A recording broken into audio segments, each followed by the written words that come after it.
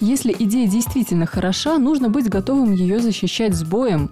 Молодые белорусские ученые выходят на ринг, чтобы доказать, их открытие достойно, чтобы о них узнал мир. Здесь нет боксерских перчаток и ударов гонга, зато полный зал болельщиков и возможность сразиться с соперником интеллектуально.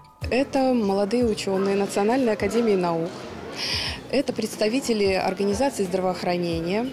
Это независимые эксперты и представители вузов наших белорусских. То есть все молодые люди, которые занимаются наукой. Э, все они в той или иной мере являются очень активными популяризаторами науки.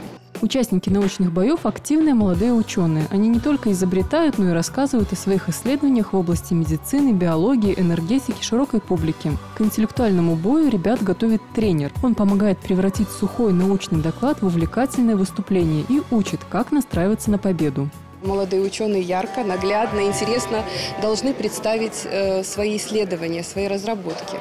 Ну и, конечно, мы э, собираемся полностью опровергнуть то, что научный доклад – это одно из самых действенных снотворных.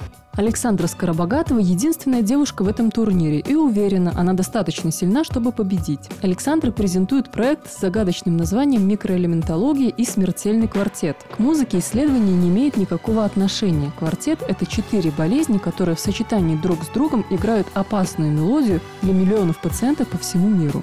Это такое комплексное понятие, которое объединяет в себе диабет, артериальную гипертензию, э, инсулинорезистентность и ишемическую болезнь сердца.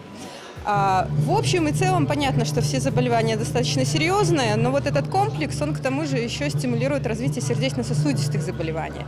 А это, как вы понимаете, очень опасное состояние. И вот э, наши исследования отчасти помогают э, ран, ран, как можно раньше диагностировать возникновение метаболического синдрома. После презентации эксперты задают ученым вопросы, порой каверзные, но благодаря тренировкам перед рингом участники отвечают на любой подобный интеллектуальный хук – как в боксе, зрители могут делать свои ставки, голосовать за ученого, который наиболее убедительно и просто расскажет о своем достижении. Победитель получит денежный приз, остальные участники – бесценный опыт.